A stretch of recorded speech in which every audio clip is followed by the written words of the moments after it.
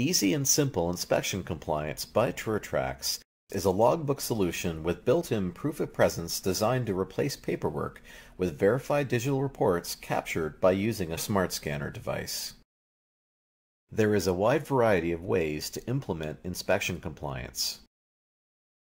Our digital logbook solution is used to track cleaning and safety checks in a variety of settings, Inspection compliance is used as an independent reporting service that provides building owners, plant, and property managers with daily, weekly, or monthly reports on building rounds and maintenance checks done by inside staff and outside contractors.